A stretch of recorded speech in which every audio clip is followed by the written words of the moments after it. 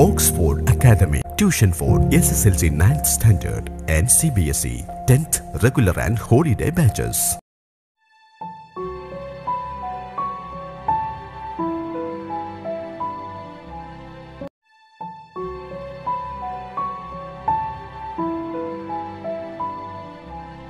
എല്ലാവർക്കും ഓക്സ്ഫോർഡ് അക്കാദമിയുടെ ബയോളജി ക്ലാസ്സിലേക്ക് സ്വാഗതം ഇന്ന് നാം പഠിക്കാൻ പോകുന്നത് ഒൻപതാം ക്ലാസ്സിന്റെ ബയോളജിയിലെ മൂന്നാമത്തെ ചാപ്റ്ററാണ്. പാഠത്തിന്റെ പേര് simple nutrients into cell അതായത് ലഘു പോഷകങ്ങൾ കോശങ്ങളിലേക്ക് എന്ന പാഠഭാഗമാണ്.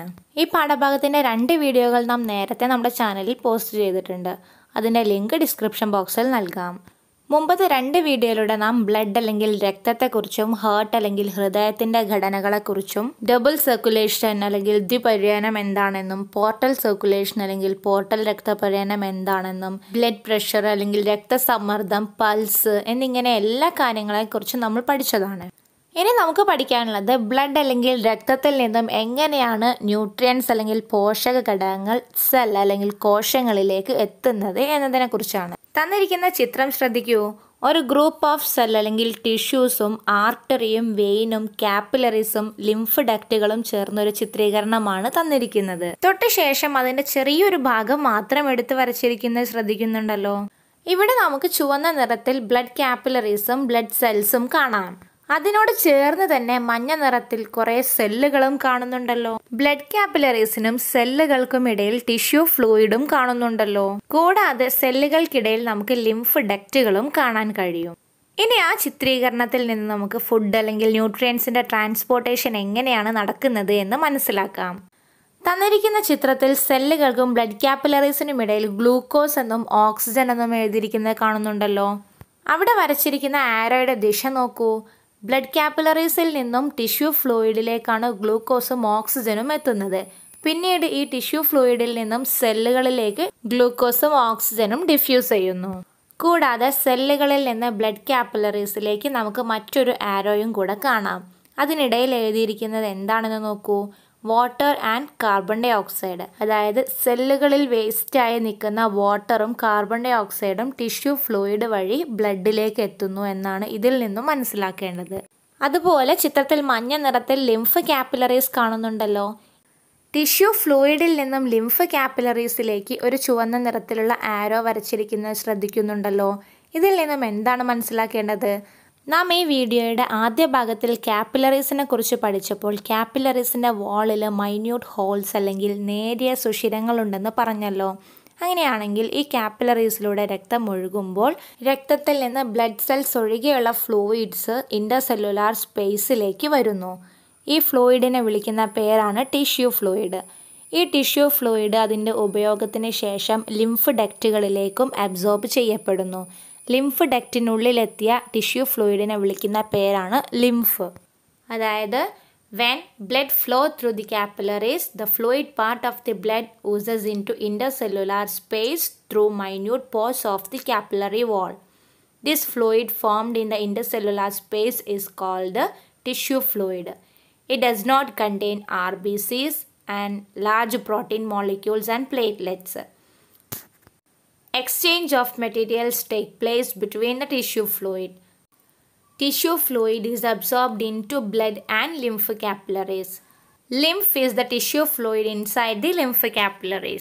ബ്ലഡിനെ പോലെ തന്നെ ന്യൂട്രിയൻസിന്റെ ട്രാൻസ്പോർട്ടേഷനിൽ വലിയൊരു പങ്ക് വഹിക്കുന്ന ഘടകമാണ് ലിംഫ് ലിംഫിനെ കുറിച്ച് നമുക്ക് വ്യക്തമായി പഠിക്കാം തന്നിരിക്കുന്ന ചിത്രീകരണം നോക്കൂ സ്മോൾ ലിംഫ് ഡക്റ്റും ലാർജ് ലിംഫ് ഡക്റ്റും സ്പ്ലീനും ലിംഫ് നോഡും എല്ലാം ചേർന്നതാണ് ഒരു ലിംഫാറ്റിക് സിസ്റ്റം. ലിംഫിലൂടെയാണ് ഫാറ്റി ആസിഡിന്റെയും ഗ്ലിസറോളിന്റെയും ട്രാൻസ്പോർട്ടേഷൻ നടക്കുന്നത് എന്ന് നേരത്തെ പഠിച്ചത് ഓർക്കുന്നുണ്ടല്ലോ. എങ്ങനെയാണ് ലിംഫിലൂടെ ഫാറ്റി ആസിഡും ഗ്ലിസറോളും ട്രാൻസ്പോർട്ട് ചെയ്യുന്നത് എന്ന് നോക്കാം.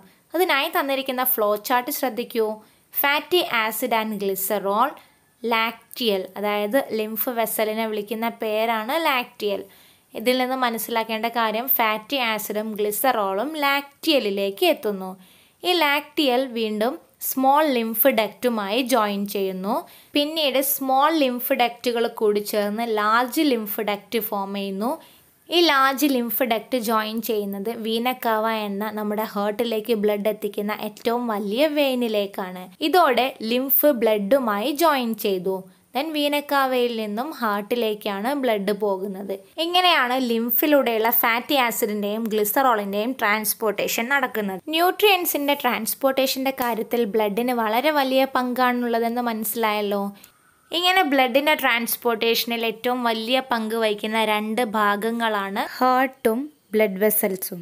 അതുകൊണ്ട് തന്നെ ഈ രണ്ട് ഭാഗങ്ങൾ വളരെ ഹെൽത്തി ആയി നിൽക്കേണ്ട ആവശ്യമുണ്ട്. നമ്മുടെ ഭക്ഷണത്തിലൂടെ എക്സസ് ഫാറ്റ് നമ്മുടെ ബോഡിയിലേക്ക് എത്തുക അതുപോലെ തന്നെ ലാക്ക് ഓഫ് എക്സസൈസ് ഇങ്ങനെയുള്ള കാര്യങ്ങൾ കൊണ്ടെല്ലാം ഫാറ്റ് ബ്ലഡ് വെസൽസിനുള്ളിൽ ഡെപ്പോസിറ്റ് ചെയ്യാൻ കാരണമാകുന്നു ഇതുമൂലമുള്ള പ്രശ്നം എന്താണെന്ന് നോക്കാം Atherosclerosis is the condition in which accumulation of the fat in the arterial walls take place due to the consumption of excess fatty food. As a result of this, the inner diameter of the artery reduces. Moreover, arterial walls lose elasticity and may rupture. Also, inner wall of artery become rough. Hence, RBCs may clump together to form blood clot in the coronary vessel which may cause heart attack. അതായത് ആദ്യം പറഞ്ഞത് അതീറോസ്ക്ലേറോസിസ് എന്ന ഒരു അവസ്ഥയെക്കുറിച്ചാണ് എന്താണ് ഇതെന്ന് നോക്കൂ ഭക്ഷണത്തിലൂടെ അമിതമായി fat നമ്മുടെ ശരീരത്തിലെത്തിയാൽ ആർട്ടറിയുടെ ഇന്നർ വാളിൽ ഈ ഫാറ്റ് പോയി പറ്റിപ്പിടിക്കും. ഇതുമൂലം ആർട്ടറിയുടെ ഇന്നർ ഡയമീറ്റർ കുറയുകയും ആർട്ടറിയുടെ ഇലാസ്റ്റിസിറ്റി കുറയുകയും ചെയ്യും.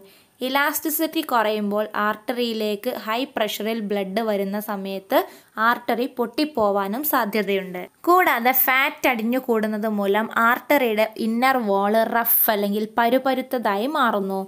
ഈ റഫ് വാളിൽ ആർ ബി സികൾ അടിഞ്ഞുകൂടി രക്തം കട്ട പിടിക്കുകയും ചെയ്യുന്നു.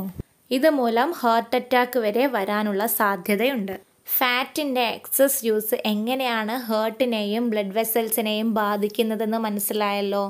ഇങ്ങനെ ഭക്ഷണത്തിലൂടെ നമ്മുടെ ശരീരത്തിലേക്ക് എക്സസ് എമൗണ്ടിൽ ഫാറ്റ് വന്നാൽ കൂടി നല്ല രീതിയിലുള്ള എക്സസൈസ് മൂലം നമുക്ക് ഈ ഫാറ്റിന്റെ ഡെപ്പോസിഷൻ കുറയ്ക്കാനാകും.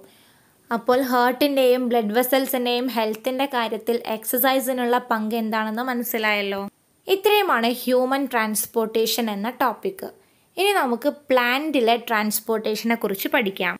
പ്ലാന്റ്സിൽ ഫുഡിനെയും വാട്ടറിനെയും ട്രാൻസ്പോർട്ട് ചെയ്യാനായി പ്രധാനമായും രണ്ട് തരം വാസ്കുലാർ ടിഷ്യൂസ് കാണപ്പെടുന്നുണ്ട്. ഒന്നാമത്തേത് സൈലം ടിഷ്യൂസ് ആണ്. രണ്ടാമത്തേത് ഫ്ലോയമാണ് വാട്ടറിനെ സോയിലിൽ നിന്നും ലീഫിലേക്ക് എത്തിക്കാൻ സഹായിക്കുന്ന വാസ്കുലാർ ടിഷ്യൂസിനെയാണ് സൈലം എന്ന് വിളിക്കുന്നത്. ലീഫിൽ പ്രിപ്പയർ ചെയ്യുന്ന ഫുഡിനെ പ്ലാന്റിന്റെ എല്ലാ ഭാഗങ്ങളിലേക്കും എത്തിക്കാൻ സഹായിക്കുന്ന വാസ്കുലാർ ടിഷ്യൂസിനെയാണ് ഫ്ലോയം എന്ന് വിളിക്കുന്നത്. ഇവ ഓരോന്നിനെയും കുറിച്ച് നമുക്ക് വ്യക്തമായി പഠിക്കാം. തന്നിരിക്കുന്ന സൈലത്തിന്റെ ചിത്രം നോക്കൂ. ട്രക്കീഡ് എന്ന കുഴലുകളും സൈലം വെസൽ എന്ന കുഴലുകളും കാണുന്നുണ്ടല്ലോ. ഇതിൽ സൈലം വെസലുകളാണ് പ്രധാനമായിട്ടും വാട്ടറിന്റെ ട്രാൻസ്പോർട്ടേഷന് സഹായിക്കുന്നത്. Transportation of water takes place through tracheid and vessels the dead cells of xylem the diameter of vessel is greater than that of tracheid അതായത് ട്രക്കീഡുകളെക്കാളും ഡയമീറ്റർ കൂടുതലുള്ളത് വെസലുകൾക്കാണ് vessels are arranged one above the other as the cell wall between the vessel disintegrate the look like a long pipe അതായത് വെസലുകൾ ഒന്നിനു മുകളിൽ ഒന്നായി വെച്ചിരിക്കുകയാണ് ചെയ്തിരിക്കുന്നത്. ഈ രണ്ട് വെസലുകൾക്കിടയിലുള്ള സെൽ വാൾ നശിച്ചു പോയതുകൊണ്ട് തന്നെ അതൊരു പൈപ്പ് രൂപത്തിൽ നമുക്ക് തോന്നിപ്പിക്കാം. ഈ xylem വെസലുകൾക്കുള്ളിലൂടെ transpiration root pressure cohesion and adhesion ഇത്രയും നാല് പ്രവർത്തനങ്ങളിലൂടെയാണ് മണ്ണിലുള്ള വാട്ടർ റൂട്ടിലൂടെ സൈലത്തിലെത്തുകയും അവിടെ നിന്ന് ലീഫിലേക്ക് എത്തുകയും ചെയ്യുന്നത്. സൈലത്തിലൂടെ വെള്ളത്തെ മുകളിലേക്ക് ഉയർത്തുന്ന ഈ നാല് പ്രോസസ്സുകൾ എന്തെല്ലാം എന്ന് നോക്കാം. ആദ്യത്തേത് ട്രാൻസ്പിറേഷൻ ആണ്. ട്രാൻസ്പിറേഷൻ എന്ന പ്രോസസ്സ് വ്യക്തമാക്കാനായി ഈ തന്നിരിക്കുന്ന ചിത്രീകരണം നോക്കൂ. ഇവിടെ നമുക്ക് ലീഫിൽ നിന്നും അവയുടെ സെല്ലുകൾക്കിടയിലുള്ള ഇന്റർ സെല്ലുലാർ സ്പേസിൽ നിന്നും വാട്ടർ വാട്ടർ വേപ്പറിന്റെ രൂപത്തിൽ നഷ്ടമാകുന്നത് കാണാം. അങ്ങനെ ലീഫിന്റെ ഇന്റർ സെല്ലുലാർ സ്പേസിലുള്ള വാട്ടർ നഷ്ടമാകുമ്പോൾ അവിടുത്തെ പ്രഷർ കുറയുകയും തൊട്ട് മുന്നിലുള്ള ഭാഗത്ത് നിന്നും വാട്ടർ ഓസ്മോസിസ് വഴി ഇന്റർ സെല്ലുലാർ സ്പേസിലേക്ക് വരികയും ചെയ്യും. അങ്ങനെ വാട്ടർ മോളിക്യൂൾസിനെ ലീഫ് മുകളിലേക്ക് അട്രാക്റ്റ് ചെയ്യുന്ന ഫോഴ്സാണ് ട്രാൻസ്പിറേഷൻ എന്ന് പറയുന്നത്. വാട്ടർ അതിന്റെ പ്രഷർ കൂടിയ ഭാഗത്തു നിന്നും കുറഞ്ഞ ഭാഗത്തേക്ക് ഓസ്മോസിസ് വഴി പോകുന്നതിനനുസരിച്ച് ഈ ഒരു പ്രോസസ്സ് തുടർന്നു തുടർന്നുകൊണ്ടേയിരിക്കും അങ്ങനെയാണ് സൈലത്തിന്റെ ഏറ്റവും താഴ്ഭാഗത്ത് നിന്നും മുകളിലേക്ക് വാട്ടർ പോകുന്നത്. അതായത് Water is loss from the intercellular space of leaf through stomata by transpiration it reduces the pressure in the cell of leaves In order to compare this pressure difference, water enter the cells from adjacent cell through osmosis. The transpiration pool developed due to the transpiration helps to carry water to the top. ഇനി നമുക്ക് അടുത്ത പ്രോസസ്സായ addition cohesion എന്നിവ എന്തെല്ലാമെന്ന് നോക്കാം the water molecule have the capacity to stick to themselves and with the walls of the vessel through which the move അതായത് water മോളിക്യൂൾസിനെ പരസ്പരം attract ചെയ്യാനും കൂടാതെ അത് മൂവ് ചെയ്യുന്നത് ചലിച്ചു കൊണ്ടിരിക്കുന്ന വെസലിനോട് അട്രാക്റ്റ് ചെയ്യാനുമുള്ള കഴിവുണ്ട്. ഇങ്ങനെ വാട്ടർ മോളിക്യൂൾസിന്റെ പരസ്പരമുള്ള അട്രാക്ഷനെ കൊഹിഷൻ എന്നും വാട്ടർ മോളിക്യൂൾസും സൈലം വെസലുകളും തമ്മിലുള്ള അട്രാക്ഷനെ അഡിഷൻ എന്ന പേരിലും അറിയപ്പെടുന്നു. ഇനി നാലാമത്തെ പ്രോസസ്സായ റൂട്ട് പ്രഷർ എന്താണെന്ന് നോക്കാം. The root pressure develop in the cell of the root due to absorption of water also helps in rising water അതായത് റൂട്ട് വാട്ടറിനെ അബ്സോർബ് ചെയ്യുന്ന സമയത്ത് റൂട്ടിൽ അനുഭവപ്പെടുന്ന ഹൈ പ്രഷറിനെയാണ് റൂട്ട് പ്രഷർ എന്ന് പറയുന്നത്. ഇത് വാട്ടറിനെ മുകളിലേക്ക് തള്ളുന്നതിനും സഹായിക്കുന്നു. ഇത്രയും നാല് പ്രോസസ്സിലൂടെയാണ് സോയിലിലുള്ള വാട്ടർ മോളിക്യൂൾസ് റൂട്ടിലൂടെ സൈലം വെസലുകൾ വഴി ലീഫിലെത്തുന്നത് ഇനി നമുക്ക് ഫുഡിന്റെ ട്രാൻസ്പോർട്ടേഷൻ ഫ്ലോയത്തിലൂടെ എങ്ങനെയാണ് നടക്കുന്നതെന്ന് നോക്കാം. ഇനി തന്നിരിക്കുന്ന ചിത്രം നോക്കൂ. ഫ്ലോയത്തിന്റെ ചിത്രീകരണമാണ് ഇവിടെ തന്നിരിക്കുന്നത്. ഫ്ലോയത്തിന് പ്രധാനമായും രണ്ട് ഭാഗങ്ങളാണുള്ളത്. സൈലത്തിന് സൈലം വെസൽ ഉള്ളതുപോലെ തന്നെ ഫ്ലോയത്തിൽ കാണപ്പെടുന്ന ട്യൂബിനെയാണ് സീവ് ട്യൂബ് എന്ന് വിളിക്കുന്നത്. ഈ സീവ് ട്യൂബുകൾക്കിടയിൽ ട്രാൻസ്പോർട്ടേഷന് സഹായിക്കുന്ന കമ്പാനിയൻ സെൽസും അടങ്ങിയിരിക്കുന്നുണ്ട്. സൈലം വെസലുകളെ പോലെ തന്നെ ഒന്നിനു മുകളിൽ ഒന്നായാണ് സീവ് ട്യൂബും അറേഞ്ച് ചെയ്തിരിക്കുന്നത്. രണ്ട് സീവ് ട്യൂബുകൾക്കിടയിൽ ഒരു സെപ്പറേറ്റ് മെംബ്രെയിനുകൾ കാണപ്പെടുന്നുണ്ട്. ഈ മെംബ്രെയിനുകൾക്കിടയിൽ മൈന്യൂട്ട് ഹോൾസും കാണപ്പെടുന്നുണ്ട്. വാട്ടറിനെ ട്രാൻസ്പോർട്ട് ചെയ്യാനായി സൈലം വെസലുകൾ ഒഴിഞ്ഞു കിടക്കുമ്പോൾ ഫുഡിനെ ട്രാൻസ്പോർട്ട് ചെയ്യാനായി ഫ്ലോയത്തിന്റെ സീവ് ട്യൂബുകൾക്കിടയിൽ ഒരു ഫ്ലൂയിഡ് അല്ലെങ്കിൽ സെല്ലുലാർ ഫ്ലൂയിഡുകൾ നിറഞ്ഞെടുക്കുന്നുണ്ട്. സൈലത്തിലൂടെ വാട്ടറിന്റെ ട്രാൻസ്പോർട്ടേഷൻ സഹായിക്കുന്ന മൂന്ന് പ്രോസസ്സുകൾ നാം പറഞ്ഞത് ഓർക്കുന്നുണ്ടല്ലോ. ഈ പ്രോസസ്സുകൾ വഴിയാണ് സോയിലുള്ള വാട്ടർ ലീഫിലെത്തുന്നത് ഇവിടെ ഫ്ലോയത്തിന്റെ കാര്യത്തിൽ ഫുഡിന്റെ ട്രാൻസ്പോർട്ടേഷന് വേണ്ടി വലിയ പ്രോസസ്സുകളൊന്നും തന്നെയില്ല. ഇവിടെ ആകെ നടക്കുന്നത് ഡിഫ്യൂഷനാണ് അതായത് സബ്സ്റ്റൻസസ് അവരുടെ കോൺസെൻട്രേഷൻ കൂടിയ ഭാഗത്തു നിന്നും കുറഞ്ഞ ഭാഗത്തേക്ക് ഡിഫ്യൂസ് ചെയ്ത് പോവുകയാണ് ചെയ്യുന്നത് food transported in the form of sucrose through the sieve tube the main part of the phloem. Like xylem vessel, sieve tubes are also seen as pipe arranged one above the other. But differing from xylem vessel, pores are seen in their cross wall. Through these pores, the cytoplasm of sieve tube are interconnected through which food molecules can travel. ഇത്രയുമാണ് ഫ്ലോയത്തിലൂടെയുള്ള ഫുഡിന്റെ transportation ഇങ്ങനെ sieve ട്യൂബിനുള്ളിൽ കാണപ്പെടുന്ന സൈറ്റോപ്ലാസത്തിലൂടെ diffusion വഴിയാണ് food molecule ലീഫിൽ നിന്നും പ്ലാന്റിന്റെ എല്ലാ ഭാഗങ്ങളിലേക്കും എത്തുന്നത്. ഇതോടെ simple nutrients into cell അല്ലെങ്കിൽ ലഘുപോഷക ഘടകങ്ങൾ കോശങ്ങളിലേക്ക് എന്ന ഈ പാഠഭാഗം ഇവിടെ അവസാനിക്കുന്നു. ഈ വീഡിയോ നിങ്ങൾക്ക് ഉപകാരപ്രദമാവുമെങ്കിൽ ലൈക്കും കമന്റും ഷെയറും ചെയ്യുക. അടുത്ത വീഡിയോകൾക്കായി ഓക്സ്ഫോർഡ് അക്കാദമി കേരള എന്ന നമ്മുടെ ഈ ചാനൽ സബ്സ്ക്രൈബ് ചെയ്യുക. Thank Oxford Academy.